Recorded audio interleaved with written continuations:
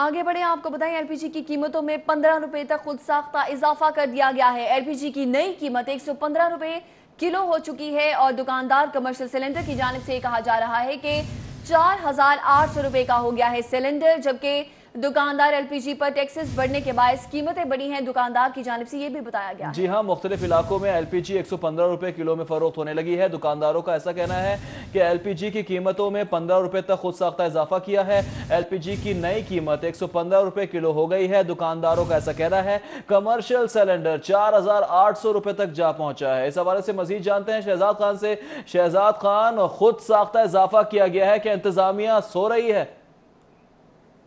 آج بالکل ساندہ سمن آباد باند روڈ، گلشن راوی اور اس سے ملکہ علاقوں میں ایل پی جی ڈیلرز نے ایل پی جی کی قیمت میں دس سے پندرہ روپے کا اضافہ کر دیا ہے۔ ایل پی جی کی ان علاقوں میں نئی قیمت اب سو روپے سے بڑھ کے ایک سو پندرہ روپے دیکھی جا رہی ہے۔ اس حوالے سے ہماری ایل پی جی سیلر سے بات ہوئی تو ایل پی جی سیلرز کا یہ کہنا ہے کہ ایل پی جی ڈیلرز نے جو کمرشل سلنڈر ہے، اس کی قیمت میں گیارہ سو روپے کا اضافہ کر دیا ہے، جس کے بعد جو کمرشل سلنڈر ہے وہ گیارہ سو روپے مہنگا ہونے کے بعد اڑتالیس سو روپے تک کا ہو گیا ہے۔ ایل پی جی سیلرز کا یہ کہنا ہے کہ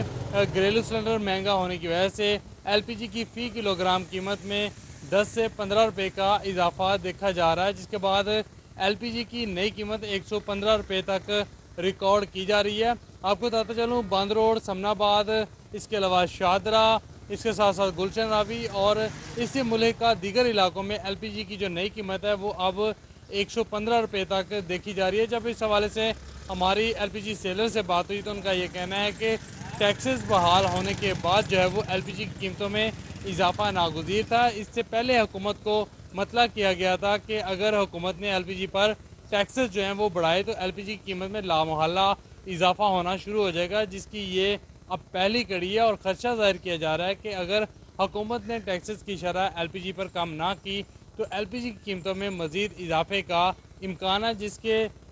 تمام تر اثرات جو ہیں وہ اینڈ یوزر پر پڑیں گے اور عام آدمی جس کی قوت خرید پہلے ہی ڈیمیج ہو چکی ہے وہ جو ہے وہ معاشی جی ٹھیک ہے شہزاد خان آپ کا بہت شکریہ۔